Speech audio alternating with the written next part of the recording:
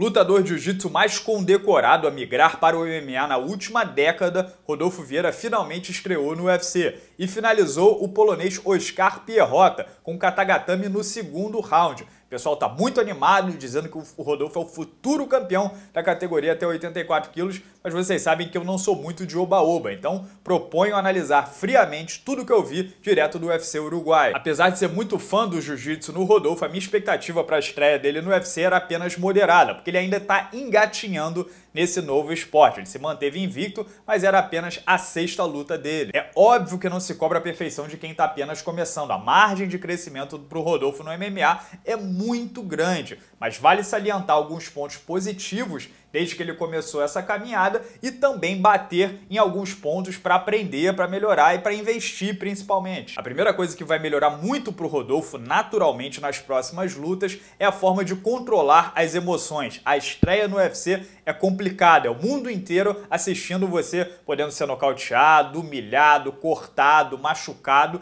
e tudo mais. E o Rodolfo às vezes ele me parece um lutador bem emotivo, né? Você vê quando ele vence, ele grita, chora, esperneia, extravasa, e aquilo tudo é emoção que estava ali reprimida em ebulição. Essa semana o Rodolfo disse várias vezes que estava muito nervoso, muito ansioso, e esse dump de adrenalina pode afetar a performance, pode nublar o seu julgamento, fazer ele tomar uma decisão errada se os nervos estiverem muito à flor da pele. Tem um videozinho legal que o perfil do UFC no Twitter postou, né, antes da luta, ele ali no vestiário aquecendo com uma cara quase que de choro. E o Mike Perry, né, um psicopata, dançando, rebolando e brincando com ele, ajudando a dissipar um pouco a tensão. Então, já que o peso da estreia saiu das costas, daqui para frente só melhora. Eu acho que um dos maiores, se não o maior problema com que o Rodolfo vai ter que lidar durante toda a sua caminhada no MMA, ele tem frame de meio médio e peso de meio pesado. Mas ainda assim, a gente falando de altura e envergadura, ele é bem compatível com a categoria. Ele tá quase do mesmo tamanho do Robert Whittaker, o campeão. Ele é maior do que o Kelvin Gastelum, então tá ali no bolo. O maior problema mesmo é o lance do peso, porque o Rodolfo tem muita massa muscular. O cara é denso, como a gente sabe, massa muscular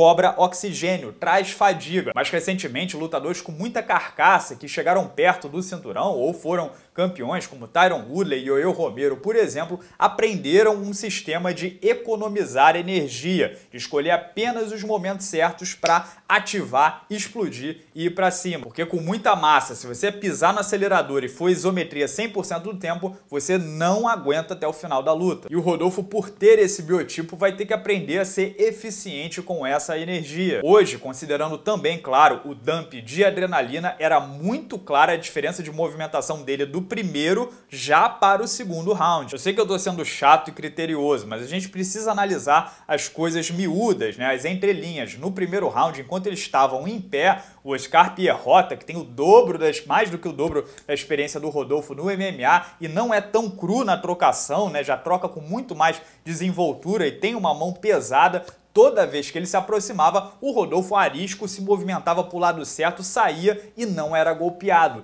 Já no segundo round, depois de fazer uma força no primeiro, o Rodolfo começou a ficar um pouco mais estático e engolir alguns golpes. Não foi nada grave, extremamente alarmante, nem nada do tipo. Não faltou para as quedas, por exemplo, mas estava ali, deu para notar. De ponto positivo para mim, eu destaco dois. O primeiro, a evolução do wrestling do Rodolfo. O Rodolfo, para quem não acompanhou ele no jiu-jitsu, ele queda e passa, ele joga por cima. Só que as quedas do Rodolfo sempre foram oriundas do judô. O, Rodolfo é um excelente judoca. Então as entradas mais de wrestling, single leg, double leg, body lock, nunca foram o carro-chefe para ele. Se você pegar as primeiras lutas dele de MMA, considerando também o nível dos adversários para o Oscar Pierrota, as entradas dele de single e double leg estão muito mais no ponto. E o ponto positivo número 2 é que eu acho que é muito baixa a probabilidade do Rodolfo se apaixonar pela trocação e querer virar lutador de de boxe. Eu acho bem mais provável que ele vire um Demian Maia número 2, pelo discurso e pelas atitudes. Ele diz claramente que está indo lá para apanhar o menos possível e para tentar botar o jogo dele em cena. Não é um cara que mija fora do pinico.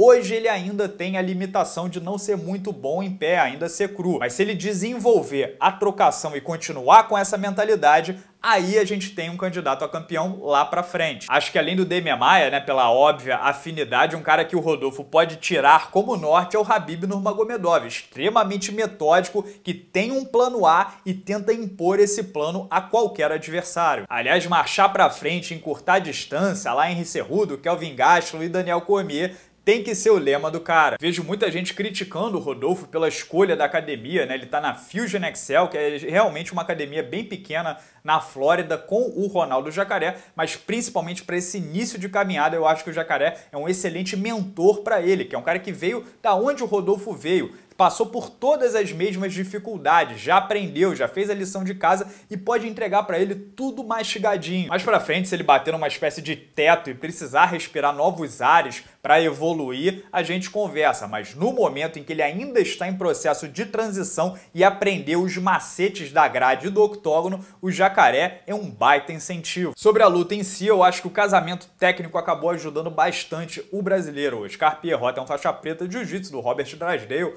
outro multicampeão, e aceitou o jogo do Rodolfo. A gente viu, aliás, muito claramente uma armadilha psicológica que bons guardeiros do jiu-jitsu acabam caindo no MMA. Pierrota tem pernas longas, é flexível, deve ser um excelente guardeiro quando você treina 5, 10, 15 anos de costas para o chão e está muito confortável ali de ser amassado para tentar procurar uma finalização, uma raspagem, no MMA, que é outro esporte completamente diferente, a configuração não é a mesma, o seu automático está em aceitar aquela situação. E se fazer guarda aberta ou até guarda fechada no MMA já é proibitivo para grandes faixas pretas, Ronaldo Jacaré, por exemplo, passou um round inteiro por baixo do Jack Hermanson e perdeu aquele round. Imagina quando é o Rodolfo Vieira em cima de você. Então, toda vez que foi posto para baixo, o Pierrota, ao invés de tentar levantar, principalmente com o auxílio da grade, de forma desesperada para levar a luta para onde ele tem a vantagem, que é na trocação, não, ele aceitou a situação e foi fazer guarda contra o Rodolfo. Tentou fazer guarda de gancho, meia guarda, e aí não dá, né, fera? Me ajuda a te ajudar. E a gente viu como o Pierrota é um bom guardeiro pela dificuldade que o Rodolfo teve para passar a guarda dele no primeiro round, mesmo podendo dar porrada, é claro que a grade ali ajudou o Pierrota, ele não conseguiu. E aí que tá a curiosidade, ser um bom guardeiro foi exatamente o que custou a luta ao polonês, que insistiu na posição e acabou finalizado por um dos maiores passadores que a gente já viu no jiu-jitsu. É claro que a estreia foi maravilhosa e o resultado idem, o cara deve estar extremamente aliviado, mas eu fico um pouco um pé atrás com esse oba-oba todo, porque para mim tá claro que o UFC não vai ter paciência com ele. Ele já pegou um cara com o dobro da experiência profissional, tava indo para quarta luta no UFC